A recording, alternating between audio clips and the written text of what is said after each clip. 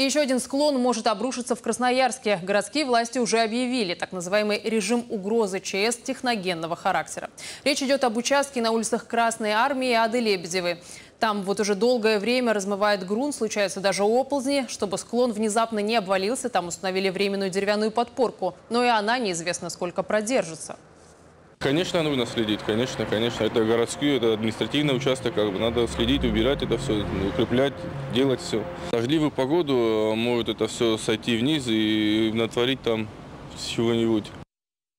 Место это непроходное, но чуть выше расположены административные здания с магазинами, салонами красоты и фитнес-клубом. Сейчас власти ищут подрядчика, чтобы тот провел проектные и восстановительные работы.